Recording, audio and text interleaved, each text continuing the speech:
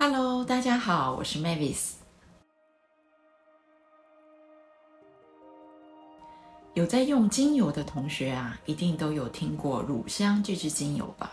今天这部影片呢、我们就来聊一聊这支流传千年的乳香精油。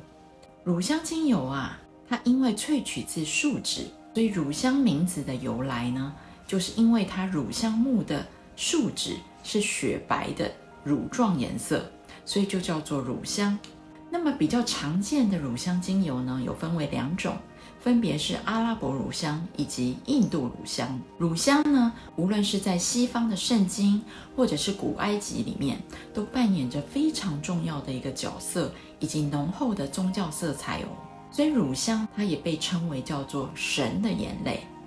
因为人们呢很相信呢，透过乳香的熏香，可以跟上帝以及神明去做沟通，是一个很好的一个引线，跟神去做亲近是一个很好的桥梁。所以通常我们在拜拜或者是祭祀的时候，会用乳香来做熏香。在考古学呢，也发现了法老王的坟墓当中呢有密封的罐子。那这个密封的罐子打开之后，经过分析，就发现其实里面就是乳香。所以乳香呢，可以说是最亲近神的一种精油以及香气。那么乳香到底有什么神奇呢？可以流传千年，甚至在圣经里面提到的三个宝物，其中一个就是乳香。首先呢，阿拉伯乳香可以说是跟神最亲近的精油，一点都不为过。为什么呢？因为它含有丰富的二萜类化合物。那么这个二萜类化合物呢，对人体的神经元受体叫做 TRPV 三这个神经元受体呢，有激励的效果。因此，在法国的医学芳疗运用上呢，针对忧郁症，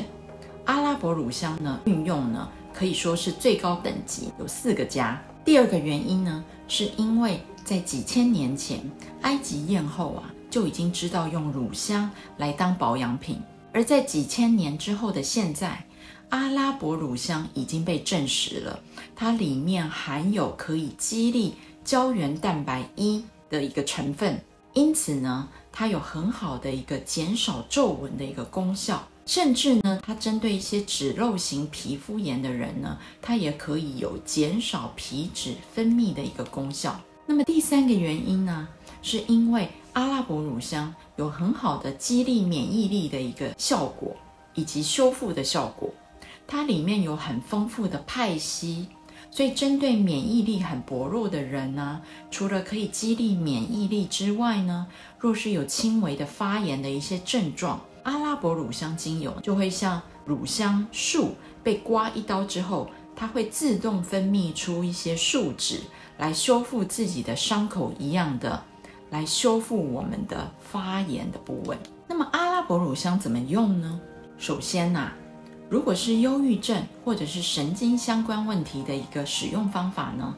我比较建议是使用阿拉伯乳香的一个纯精油呢，直接用扩香仪来做扩香。这样的活性分子呢，可以借着上一篇我们所说的这个嗅觉疗法。来快速进入我们的大脑皮质，达到修复神经的一个效果哦。我们可以设定一天里面至少有两次的扩香，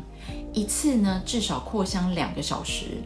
这样呢，除了可以修复我们的神经，也同时可以激励我们的免疫系统哦。如果要使用阿拉伯乳香来脸部保养，我通常会使用渗透力最好的实力油。实力的植物油呢，它加上千分之三比例的阿拉伯乳香，再加上千分之二比例的罗马洋甘菊，调成一瓶抗皱的一个调和油，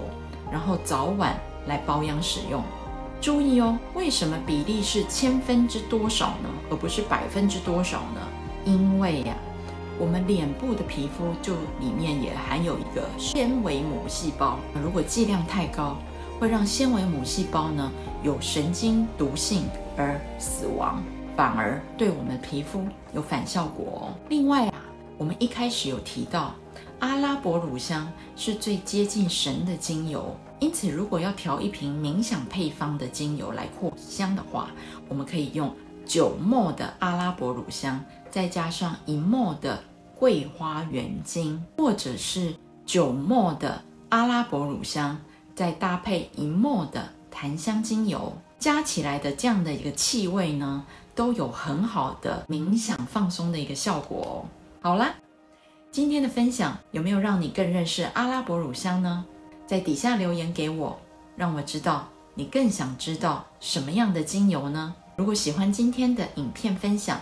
也别忘了订阅我的频道，并且按赞分享哦。让我们一同开启疗愈的芳香生活。我是 Mavis，我们下次见喽。